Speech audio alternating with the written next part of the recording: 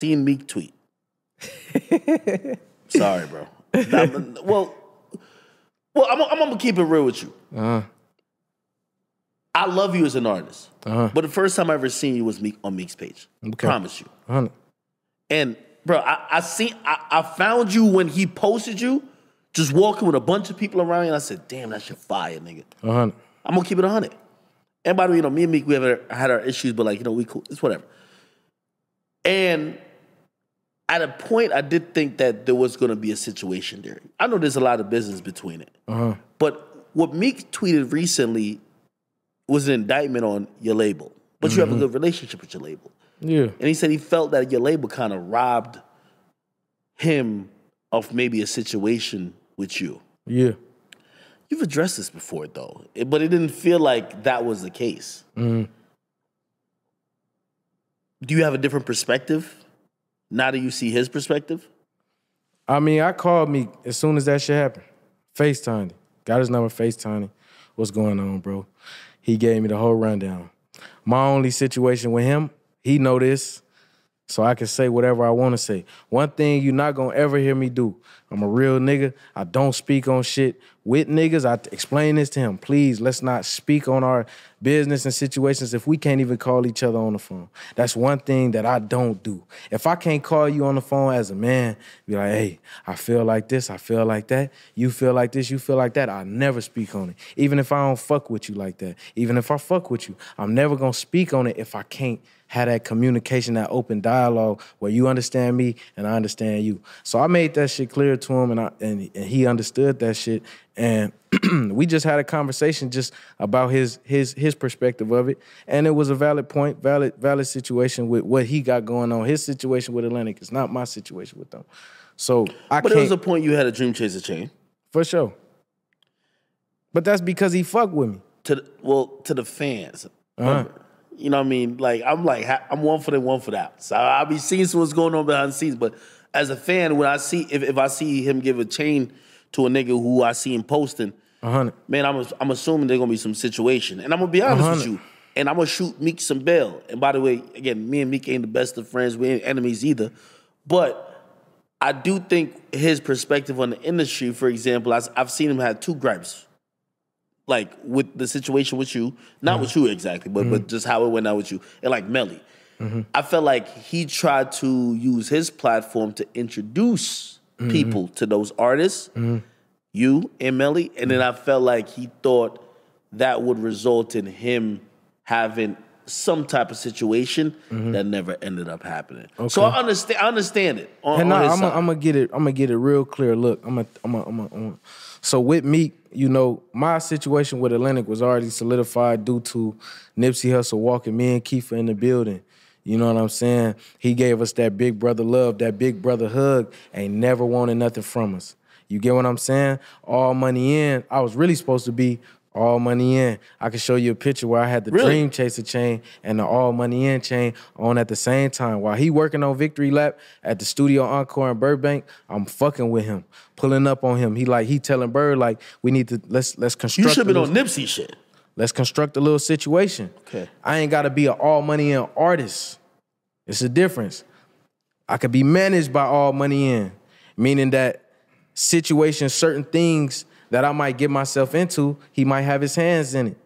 But it's a lot of shit that that man did for me. He ain't never asked for nothing back. I ain't saying that he wasn't gonna ask for nothing back, but it's a lot of shit that he did we, for we talking nigga about Nipsey. We talking about Meek. talk about Nipsey before the before the Meek situation. You know what I'm saying? Like Nipsey took me to Powerhouse, had me performing in front of people that didn't even know nothing I put out. This was before Die Young. I think I was doing fuck it up at Powerhouse. Niggas didn't know me like that. This was off the first mixtape. You get what I'm trying to say?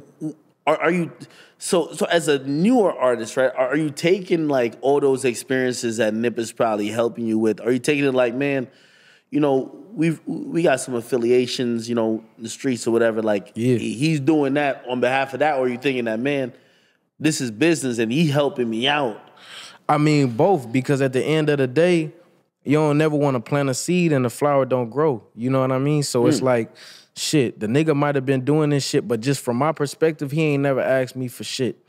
You know what I'm saying? Yeah, situation. Yeah, but he was doing a lot of shit before he even asked me for any type of situation at all. It was never no intention behind it. Like nigga, he had me on tour. Robin Hood, shout out Robin Hood. He had me on um, tour with Post Malone.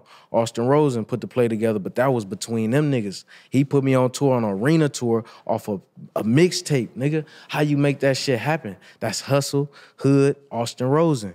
You feel me? That wasn't the the other side of things. You know what I'm saying? Like the other side of things definitely hyped me up, put me in the position.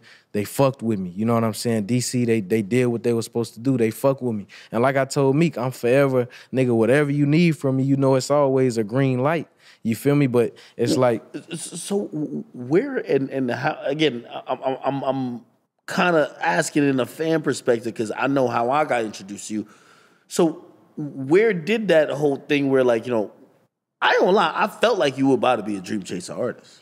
Like, yeah. where did that come from then? Because you know, I talked as, to Meek when he was history, in jail. I, I talked to Meek when he was in jail.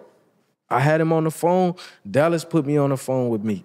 You know what I'm saying? I, he put me on the phone with Meek, set us up when he came to LA for the first time since he was out. I pulled up on him. We caught a vibe from the beginning. But my whole point is just like, hey, you know, do things not with the intention of like receiving shit, man. Do shit from the kindness of your heart. And Meek is the type of nigga to do everything from the kindness of his heart. But I just don't want the blogs and the narratives to think like, oh, he, you know what I'm saying? He he felt like he was robbed, this and this and that. That problem is with them people. That's not with me. You That's know what I'm saying? Like our shit was yeah, our shit was like more genuine. So whatever had to happen on the back end, that really not that's not gonna affect me. I'm gonna get I'm gonna get all the money I ever made from them. I'm gonna get it regardless. And that was his point. Like he's making his money. He gonna do that shit regardless. Y'all split whatever they did. You know what I'm saying? That's what they did. But that situation really it has to do with with them.